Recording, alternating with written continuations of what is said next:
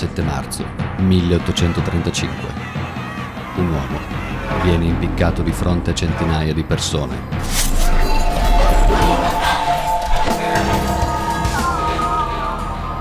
È colpevole di orrendi crimini.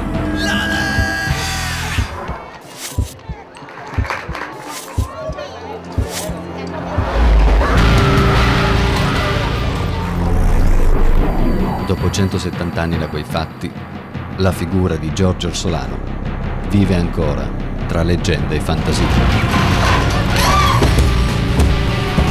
L'innocente e incauta giovane lo seguì.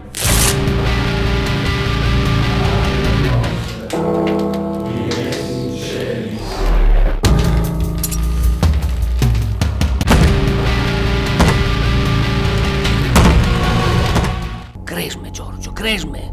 Confessa, confessa.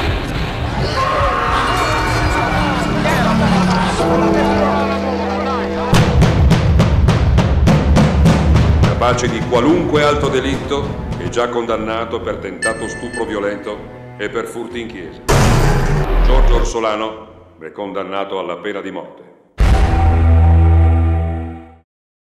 Canavese terra anche di cinema, non solo di tutto quello che parliamo normalmente e settimanalmente dal nostro canale eh, e oggi andiamo a riscoprire esattamente a vent'anni di eh, distanza una produzione molto particolare che però eh, fece grande successo e riportò alla ribalta anche quello che è un po' un mito, una leggenda, ma anche una storia vera che riguarda proprio il territorio canavesano. Sto parlando della Iena di San Giorgio. Eh, dicevo prima, vent'anni, eh, due decenni fa un giovane regista canavesano sangiustese decise di eh, realizzare un corto che in realtà poi alla fine dei conti diventò un vero e proprio documentario che portava il nome di La Iena di San Giorgio. Quel giovane regista è qua, Andrew Verga, eccoci qua, buongiorno. Ciao. Ciao. Sono passati qualche anno, appunto come dicevamo. Tanti anni, sono passati vent'anni. Vent'anni. Vent'anni però quella storia, quel eh, VHS tra l'altro. Eh, sì, perché all'epoca dobbiamo ricordare che esisteva come supporto il VHS. Esatto, E cosa che adesso, adesso è sparito. se parlano i giovani, appunto i millennial, non sanno assolutamente di cosa si tratta, o almeno forse ne hanno sentito parlare. Certo. Ecco, allora con te vorremmo un attimino ripercorrere eh, quel, quel percorso che ti ha portato appunto a realizzare la Iena, Certo. sapendo un pochettino di quelle che erano le curiosità, poi capire da- dalla Iena i passi che hai compiuto e anche parlare un pochettino di quello che è il cinema o comunque le produzioni video in canavese. Allora, raccontaci un po' co- da, da cosa nacque l'idea di realizzare la Iena. Ma eh, cosa ti posso dire? Se, se uno ci pensa bene è, è una storia molto, eh, a parte che è ancora attuale, Certo. che stiamo parlando comunque di omicidi, purtroppo di serial killer ehm, e- e- ed è attuale ancora oggi. Tra, tra l'altro lui fu considerato il primo serial killer Lui è italiano. considerato eh, il primo serial killer italiano documentato Mhm. eh, e quindi per noi è stata anche quella una bella, una bella Diciamo che il scoperta. nome era Giorgio Orsolano. Giorgio Orsolano, detto la Iena di San Giorgio.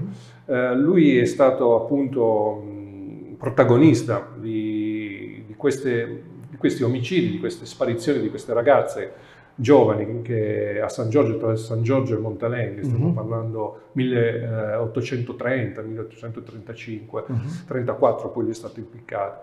Ehm, con lo stesso modo operandi, come si Mhm. dice, no? Eh, Certo. ancora prima che il, il termine serial killer fosse Venisse coniato. coniato.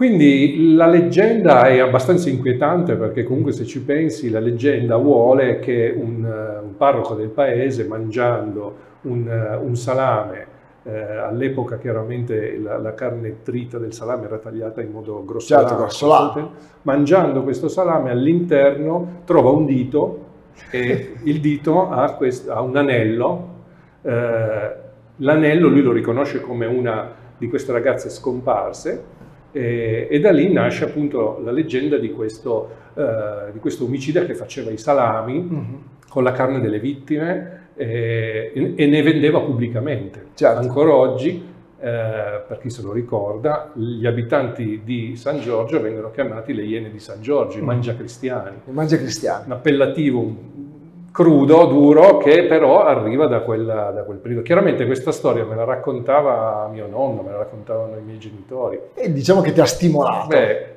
no? chiunque no? rimane un po' impressionato da questa certo. storia. Allora, la mia idea, visto che io già all'epoca mi divertivo a girare eh, filmati e documentari, ho detto perché non farne un, um, un cortometraggio. Mm-hmm la, la, storia c'è tutta, certo. sia inventata o no, eh, comunque deve essere molto suggestivo ricreare, soprattutto a me piacciono i film in costume, quindi insomma stavamo parlando eh, del 1800, certo. alcune location ci sono ancora, San Giorgio. Tutto questo qua ne ho parlato con Maddalena Serazio, una, una persona di San Giorgio, che poi è quella che addirittura poi ha scritto ultimamente il proseguo della Iena di San mhm. Giorgio, ha scritto un libro intero dove ha documentato anche tutti i suoi avi e tutto quello che è successo dopo. E lei mi ha aiutato a creare un piccolo gruppo di persone e San Giorgesi, poi chiaramente io arrivo da San Giusto, quindi dovevo in qualche modo... Campanilismo forte! Esatto, dovevo in qualche modo entrare in quel paese delle, delle Iene. Certo. E, e, da lì lei è stata molto brava, eh, tramite documenti eh, della parrocchia, tramite documenti comunali, tramite ricerche, a ricreare chi era mm, Giorgio Solano, da dove arrivava, quanti anni aveva, quando ha commesso i primi omicidi. Abbiamo iniziato a intervistare degli anziani del paese, abbiamo iniziato a fare le prime riprese e poi da lì ci siamo resi conto che questa cosa... Non, Altro che corto. Non era più corto, non era più un corto, si stava trasformando in una, quello che si chiama adesso una docu-fiction, quindi uh-huh. un mhm. documentario con delle scene di fiction, ma certo. alla base c'è una ricerca storica. Uh-huh.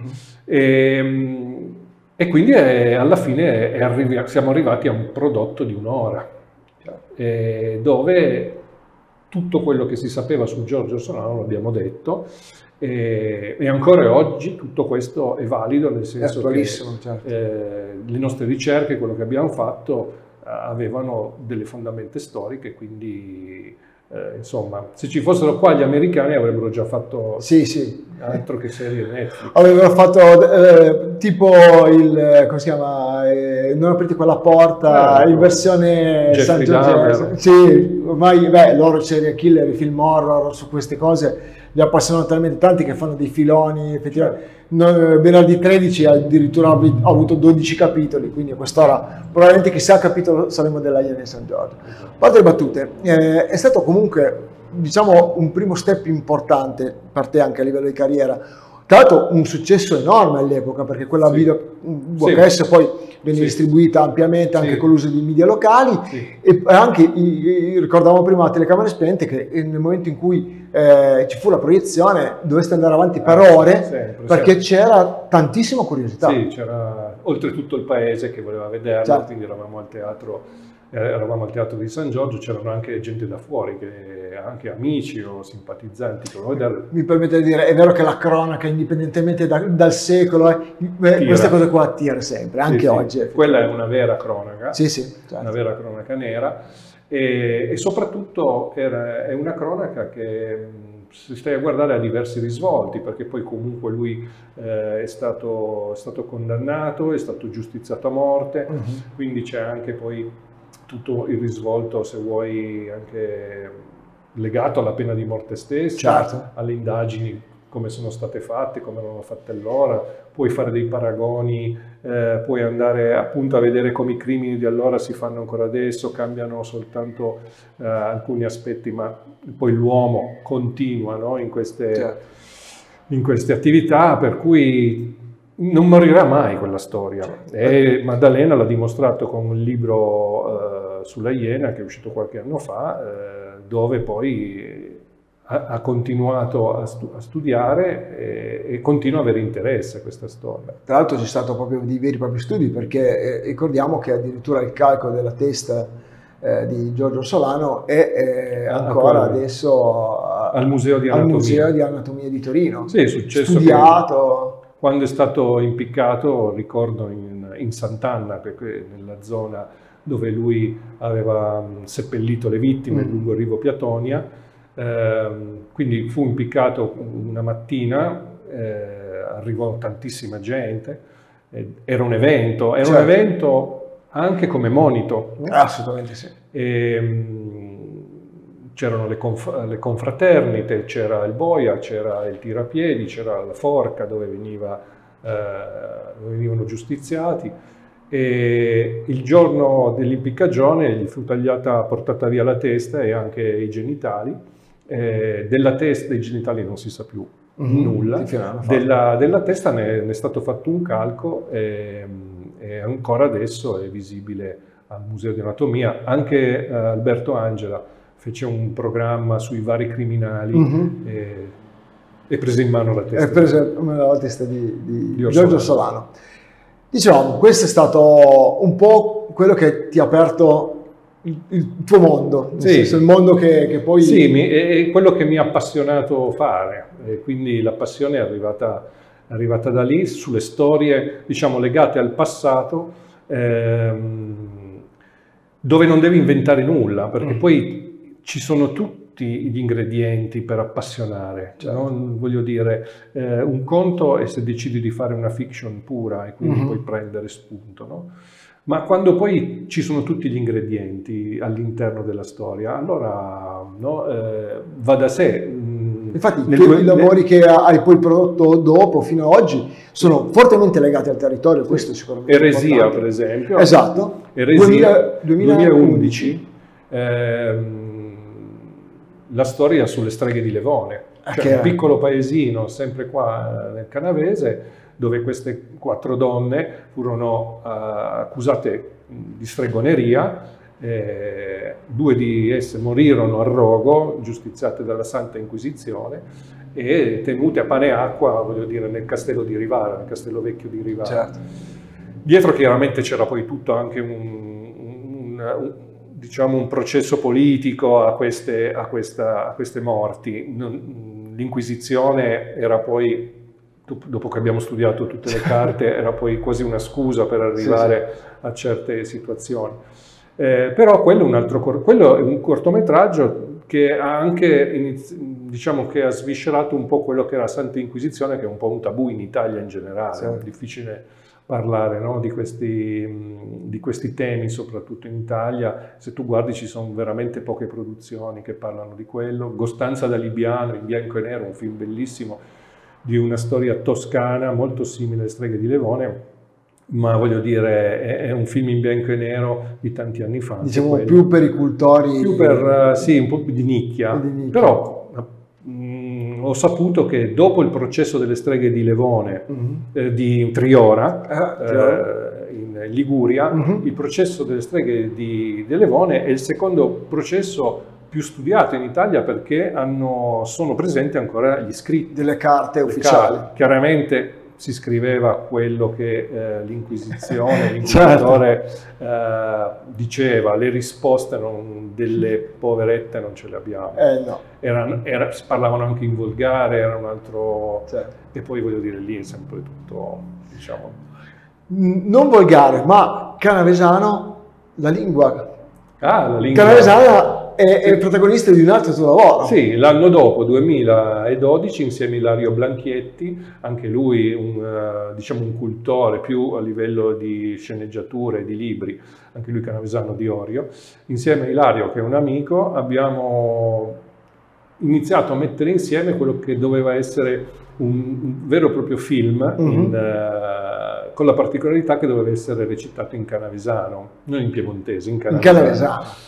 Chiaramente ci vogliono tante risorse per un film, ci siamo accontentati di un mediometraggio, comunque un 30 minuti, che io sappia è l'unico finora eh, appunto prodotto e realizzato. Ricordiamo anche il titolo? La stagione dei gusci di noce. Ecco, che almeno così, se c'è qualche curioso che ci segue, sì. almeno così va a cercarlo. La stagione dei gusci di noce, lo, in, insieme anche la Iena, lo trovate sulla mia pagina di YouTube, se mm-hmm. posso dirlo, certo. Endri Verga mm, l'abbiamo appunto messo, messo, in rete dopo tutti questi anni, voglio dire, eh, che era sempre stato su un DVD e quindi certo. adesso la rete la usiamo così.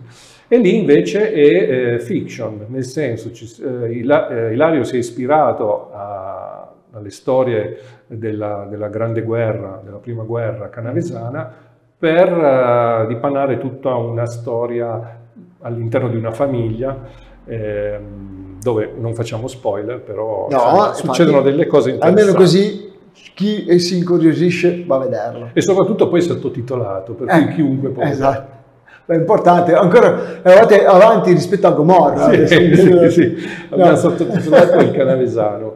E tra l'altro mh, noi viviamo in piccoli paesini e Sì. ci siamo proprio resi conto come la stessa parola, voglio dire, eh, a 5 km di distanza Cambia totalmente. cambia. Quindi abbiamo tra l'altro usato un canavesano legato proprio a una zona specifica qua del Basso Canavese, quindi stiamo parlando di Orio, Barone, San- Giusto San Giorgio, Villate, Montalenghe, quella Mhm. zona lì, perché già se prendi eh, quel, um, quell'area lì e la sposti più a nord o più a sud cambiano delle cose. Ti è molto- confermo perché io abito in Canavese, nell'Alto Canavese, ma sono originario di Locana e tra Esatto. dove abito a dove sono originario sono due dialetti completamente diversi e, e a volte è difficile comprendersi. Quindi- E secondo me ehm, queste operazioni eh, sono anche interessanti perché preservano eh, Certo. un po' di cultura locale. Cultura locale che tu hai affrontato anche con un lavoro dedicato al primo Re d'Italia. Sì, quello lì però eh, te lo smentisco perché per anni è sempre stato considerato il primo re d'Italia. Così viene definito, viene... erroneamente definito. È stato uno dei, dei re del regno italico, sì. Certo. Ehm, però Arduino sicuramente è stato una, la- una delle figure più importanti dell'anno 1000 qua Certo. in, in canavese. Sì, abbiamo tracciato tutta la sua storia, anche quello, il, il bello del, del costume, il bello di far rivivere il Medioevo. Questo grazie soprattutto a un gruppo storico eh, di Torino, gli Speculum Storia, che li ho coinvolti perché mi serviva proprio un- dei figuranti, degli Certo. attori con i costumi, loro sono molto rigorosi nella ricerca dei costumi, dei- Ah, delle importante, fattezze, certo. dei colori, tutto quanto.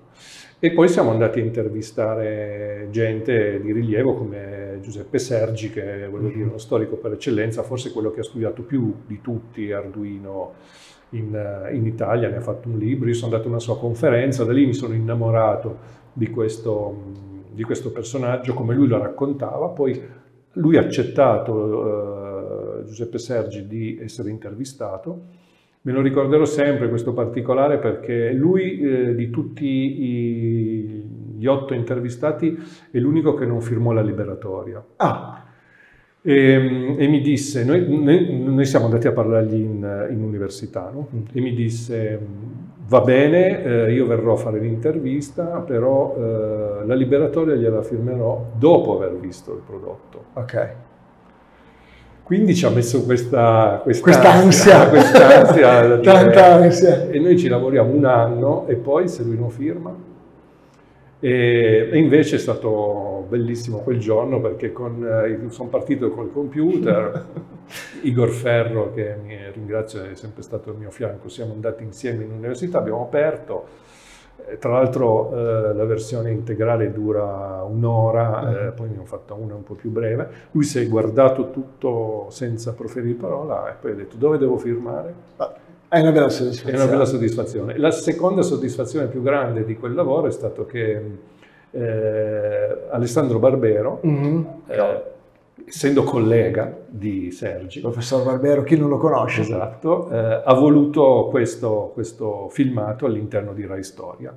E che poi, e quindi è andato in onda anche in Rai. E quindi per me quello è stato un po' un un battesimo, no? perché vuol dire che tutti quei sacrifici che abbiamo fatto tutti insieme, perché poi io sono magari quello che fa partire l'idea, Mhm. però poi attorno c'è sempre un, Certo. C'è una squadra che c'è una lavora. squadra, ma soprattutto tanta gente che ci ha creduto, soprattutto tante comparse, ci sono scene di massa, ci sono sempre girati tutto qua in Canavese, nei boschi di Torre abbiamo fatto la, abbiamo fatto la battaglia, su Asparone al freddo abbiamo fatto alcune immagini dell'incoronazione, eh, siamo stati a Torino, insomma abbiamo girato tanto- tanti luoghi per ricreare questa storia. Certo.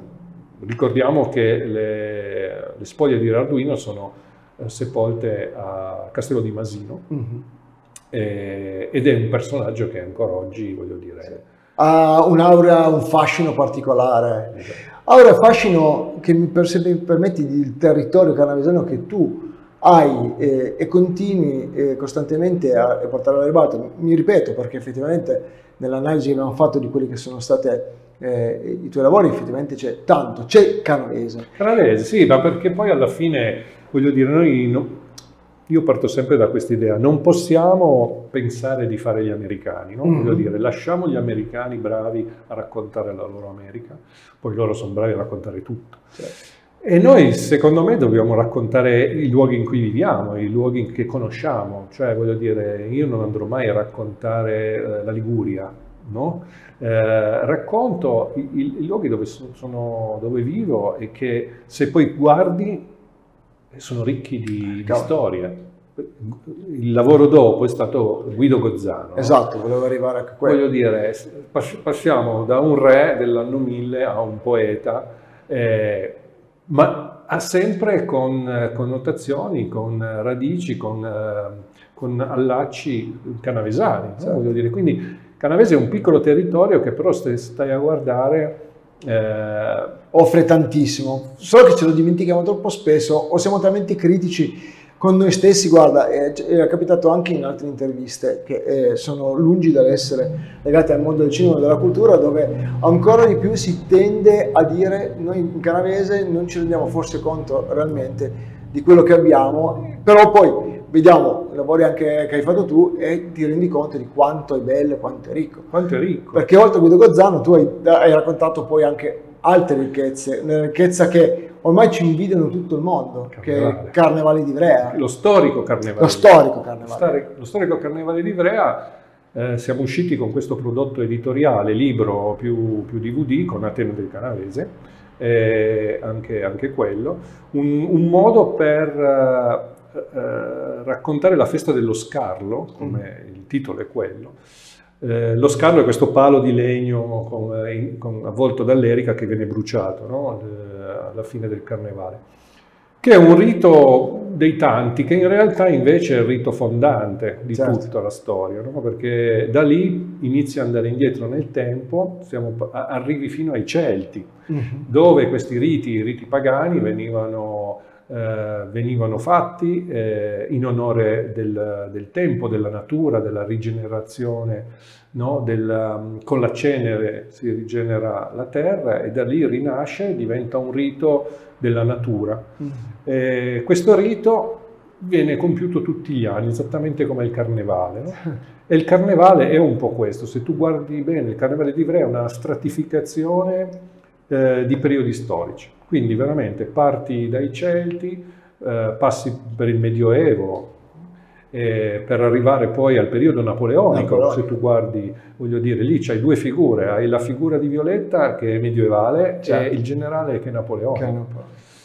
Eh, per poi arrivare poi al, alle figure ottocentesche come appunto il, le ultime figure innestate, eh, dal, da quel comitato che è fantastico, che è riuscito secondo me con eh, questo, eh, questo con i verbali, del, del, con le scritture mm-hmm. che nel tempo che hanno modificato e hanno inserito, a creare quello che è questo enorme eh, spettacolo che poi la battaglia delle arance è solo uno, uno certo. no, dei tanti. Poi è vero che all'estero vengono attirati, vabbè, mi viene in mente come può essere l'automatia sì, sì, di Valencia, eccetera. Che... Perché è quello più spettacolare. Esatto, c'è la parte spettacolare, ma dietro c'è tanta storia, come giustamente hai detto tu, che hai anche analizzato in più occasioni. Poi non, non, bisogna dimenticare il contributo de, degli storici veri, quelli, certo. quelli che eh, io vado sempre a intervistare, in quel caso Franco Quaccia, storico locale che ha passato la vita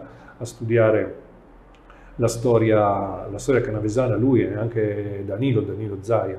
Sono due personaggi che eh, assolutamente hanno fatto tantissimo per eh, mettere nero su bianco quello che, sono, certo. quello che poi io cerco di mh, mm, trasportare in uh, immagini. No? Una, una, delle cose che io ho chiesto subito è perché si tirano le arance. Uh-huh.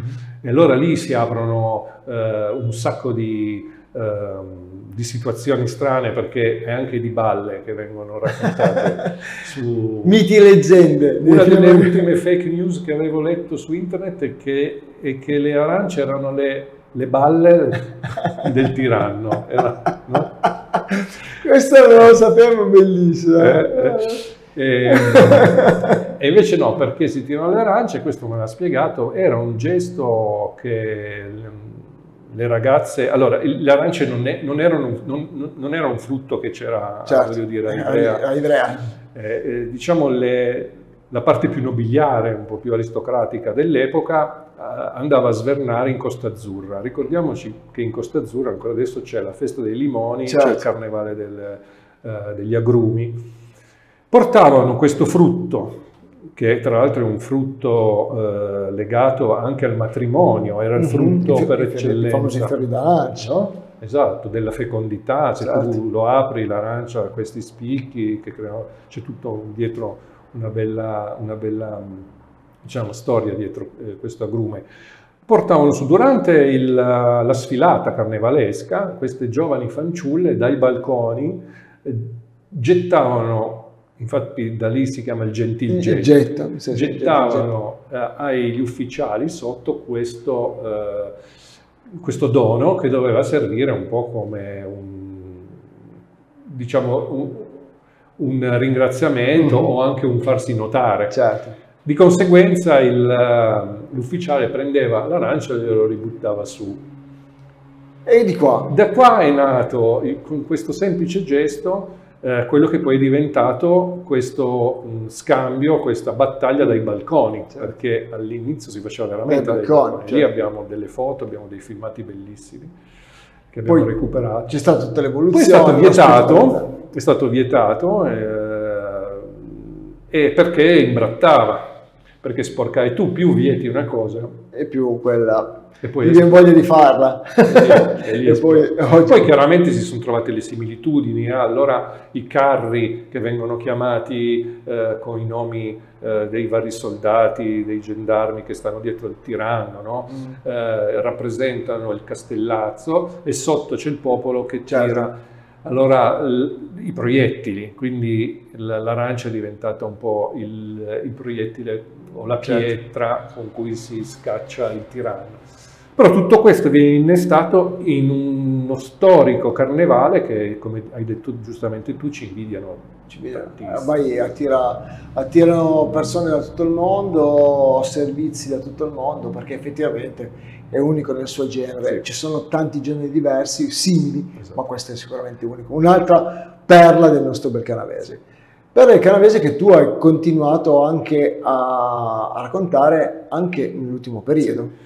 Sì, eh, diciamo che la cosa bella ehm, del canavese è che eh, tu lo, lo puoi ha tante sfaccettature, tu lo puoi raccontare anche semplicemente con le bellezze che hai attorno, storiche, che abbiamo dai castelli, voglio dire, i laghi, a tutto quello che ci circonda, ma mh, lo puoi raccontare in diversi modi, con i documentari classici, come ho sempre fatto io, in modo Mhm. classico, eh, istituzionale. Questa volta invece volevo provare a raccontarlo a- ai giovani con dei giovani e in questo caso è nato Canavese Dream. Canavese Dream è più una, una produzione eh, fatta insieme a Gioacchino e Francesca che hanno sposato questo mio testo che ho scritto in modo molto semplice e sono diventati un po' i portavoce eh, di due ragazzi che fanno un, tipo un road movie, un, Mhm. un percorso eh, che va da est a ovest eh, sud, nord e sud, in giro per il canavese, raccontando a 360 gradi, a livello un po' più turistico forse, Certo. eh, quello che è la- il nostro territorio. E questo è un, è un filmato che io ho fatto durante, l'ho pensato durante il lockdown, Mhm. insomma eravamo tutti un po' Certo. fermi, continuavo a guardare i miei hard disk con tutto il- l'archivio e ho detto, beh, perché deve stare fermo tutto questo, tutti questi filmati, non starli dentro? Mettiamoli in, eh, su una timeline, è uscito fuori un documentario di, di 30 minuti eh, che ha avuto un grande successo perché voglio dire ad oggi eh, in- in rete Canavese Dream ha 14.000 visualizzazioni. Beh, E una facendo- bella soddisfazione. Sì, facendo praticamente pochissima eh, pubblicità, abbiamo fatto una o due diciamo, Mm. presentazioni, Sì, sì, però si vede che come dicevi tu anche prima, l'uso, dei, l'uso di ragazzi giovani, di un linguaggio più semplice, avvicina di più e questo fa la differenza. Arriviamo alla fine di questa chiacchierata dicendo, chiedendoti, sono passati vent'anni dalla Iena, eh, tracciare i bilanci, sei ancora molto I giovane. bilanci sono i capelli bianchi. tracciare i bilanci è ancora presto perché hai ancora una carriera sicuramente molto florida davanti a te, tante idee, tanti progetti, però eh, ti chiedo, da quella, da, da quella produzione, da quella Iena a oggi, ti saresti aspettato uh, quello che hai vissuto e soprattutto quanto è stato importante aver avuto il coraggio di realizzare la Iena? Ma eh, c'è da dire una cosa importante, che eh, il, questo fa parte del mio lavoro, ma soprattutto della mia passione. Nel senso, tutti questi progetti li ho fatti prima di tutto eh, spinti dalla mia passione. Mm. Poi eh, è vero che il mio lavoro è anche quello sempre nello stesso campo eh, di fare il freelance, di fare il video operatore, di curare la fotografia in filmati, però eh, questi legati al territorio sono mossi esclusivamente dalla, dalla, dalla passione e, dal, e, dagli, e, dalle amicizie e dal gruppo di persone che mi sono creato attorno, che sono persone fantastiche che mh, continuano a, ad appoggiare le mie, diciamo, le, le, mie idee. Quindi finché io non, non mi stancherò e, e continuerò a divertirmi, di storie ce ne sono sempre tante da fare Certo. e, e continuerò a fare di tutto finché questo, questo territorio venga sempre di più conosciuto e apprezzato eh, perché mi rendo conto che una delle cose più difficili è far conoscere ai canavesani il canavese. Ah, sì. Alla fine dei conti è vero che lo scopriamo forse via via ogni volta che abbiamo l'opportunità di, di ritrovarci di fronte, quando ci, ci sbattiamo il muso, alla fine ci rendiamo conto di quanto è bello questo territorio e di quanto questo territorio dà a noi, ma può dare anche agli altri. E questo credo che sia una cosa importante anche ogni giorno riuscire a scoprirlo sempre di più. Andri, io ti ringrazio veramente di cuore, Grazie voi. perché è stato un bel viaggio, tra virgolette, in quello che è appunto eh, dei lavori, i tuoi, che permettono, permetteranno sicuramente anche in futuro di conoscere il nostro splendido territorio che ha tanto da dire e tanto da dare. Grazie. Andri, alla prossima, grazie mille. Grazie a voi. Grazie.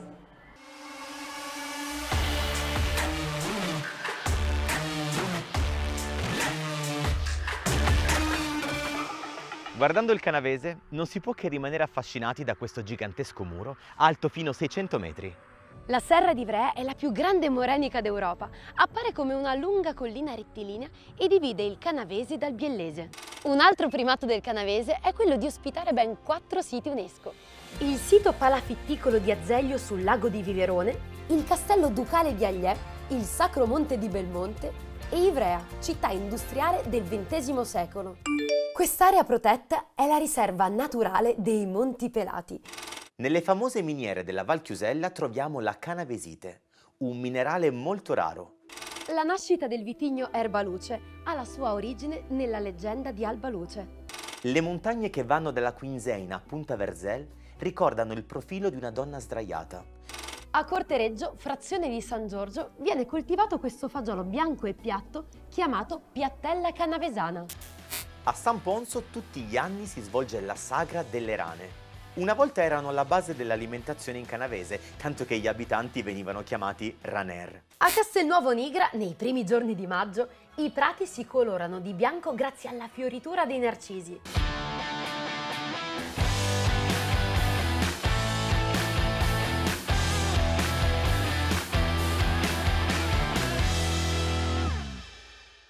Dove vai? Oh, aspetta, aspetta!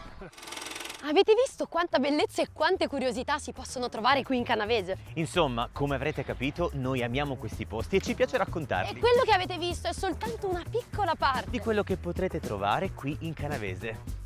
Vi aspettiamo.